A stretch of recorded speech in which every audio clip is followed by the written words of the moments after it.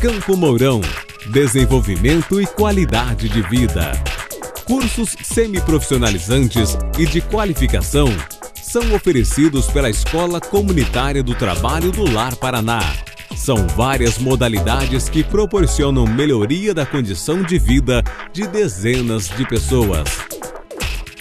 Entre os cursos oferecidos estão informática básica e internet, cabeleireiro, costura industrial e culinária, que dão novas oportunidades a pessoas de todas as idades.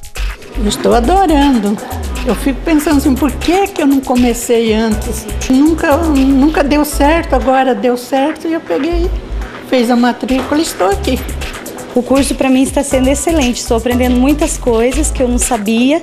Temos aprendido dicas assim excelente.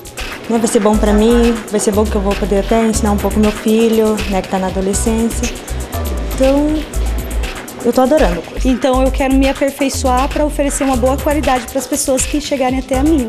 Na Escola Comunitária do Trabalho do Lar Paraná, os cursos não têm mensalidades beneficiam especialmente as pessoas de baixa renda, que depois de qualificadas podem se colocar no mercado de trabalho e melhorar o rendimento de suas famílias.